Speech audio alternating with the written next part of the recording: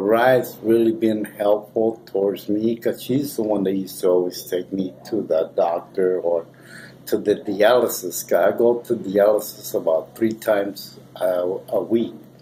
I go Mondays and Wednesdays and Fridays, and it's been really, really helpful towards me and my family because, like I said, you know, with this accident that my daughter had was pretty, pretty bad, and kind of gives her a little ease on her and her mind about worrying about me getting to dialysis. I remember one one time when I came home, there was this gentleman that came, half of his body was gone, and he told me one day, and you know, I was feeling sorry for myself because, well, what else can I, you know, I'm I'm I'm confined to a wheelchair, you know, and he told me always think positive. Always keep your head above water. Because you put a little negativity in your life, it's just going to go down and you're going to feel bad for yourself and you're going to feel like you're not needed or wanted.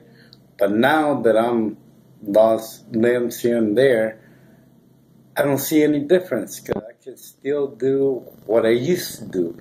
It might take me a minute, might take me a second, or you know, I mean, I pick up around my house. I I do my dishes. I even cook, but I don't feel helpless. I don't. It's always a solution for everything.